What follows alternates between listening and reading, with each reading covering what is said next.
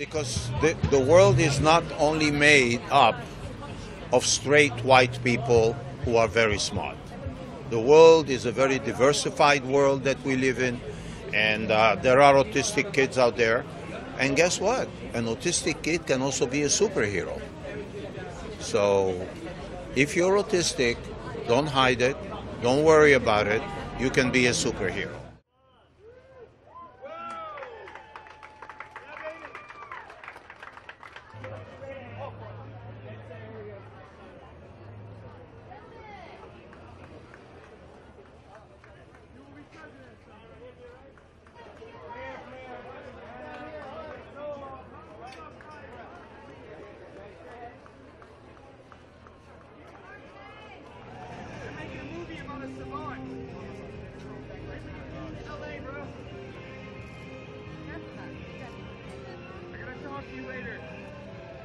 Power Rangers were a legion of warriors.